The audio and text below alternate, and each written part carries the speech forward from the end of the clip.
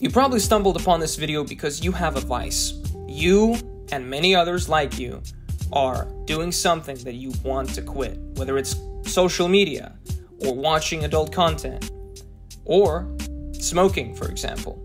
That was personally my vice, and I quit it fast. So, how did I do it? How did I break this habit? Because you find yourself relapsing all the time. And you can't quit. How do you do it? So, I'm going to share with you a simple three step method on how to quit any addiction. The third tip is a very secret tip that no one ever mentions. So, tip number one starts with a story.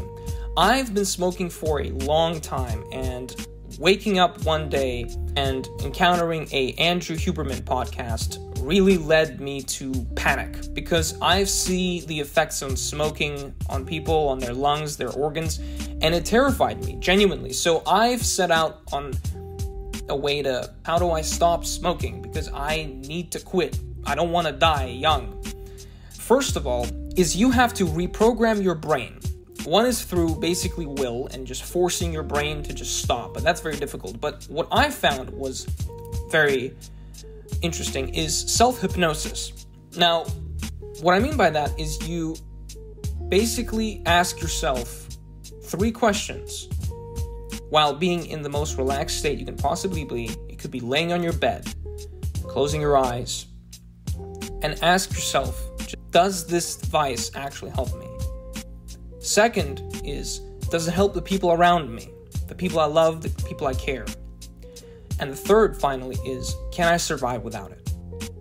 If you can answer all these questions, the next thing you have to do is force yourself to follow these three rules. Rule number one is that you are willing to do anything to defend your soul and body. Rule two what you're doing now, the vice, it could be social media addiction, adult content, smoking, this vice is trying to destroy my life.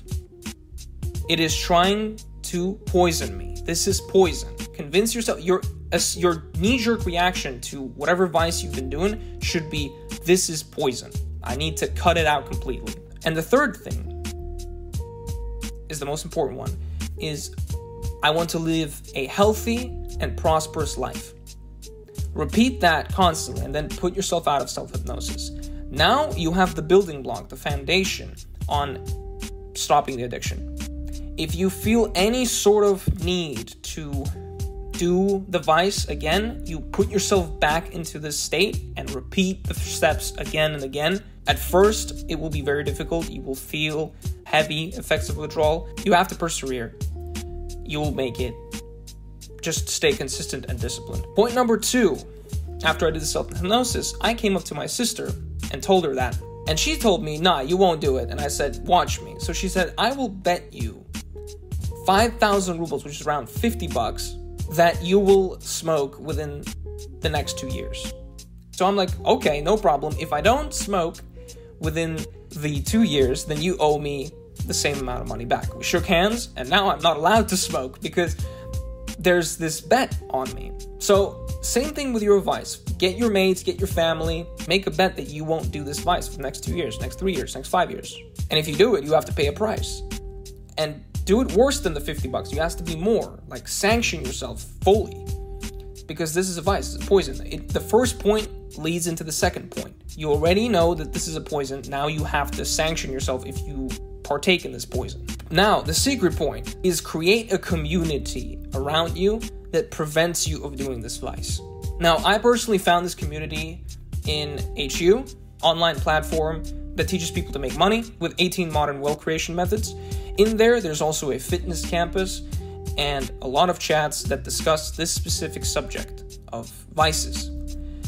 There, people band together and become better every single day, create checklists, they work on themselves, become fitter, stronger, faster, quit all their vices. They're not allowed to watch adult content, they're not allowed to smoke, they're not allowed to drink.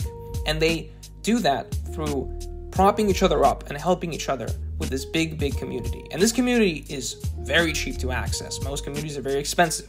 This one only costs around the same amount that you use to buy lunch. If you're interested, then check the pinned comment below. But this is one of the most important points I can give you is build a community. If you don't wish to have like a paid community, then you have to either build one yourself or you have to find an alternative. But personally, I think that is very hard nowadays to find due to the modern world pushing all of these vices.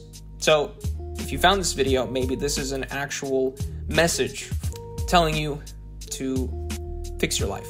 If you found this video helpful, then leave a like, subscribe, leave a comment down below if you have any other methods. Maybe you have any other ways you've quit your addiction. And follow me on alternative platforms if you want to stay in touch and watch my videos. My name is Egor Anashkin, and have a wonderful day.